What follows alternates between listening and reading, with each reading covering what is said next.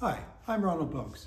I've been painting and sculpting for many years, and lately I've realized that I'm both a romantic and a modernist. The dilemma that this creates is how do you balance beauty and the sublime? In the latest works that I've been working on for the last two or three years, I have endeavored to solve that dilemma. Uh, the work that you're looking at is part of that series. Thank you.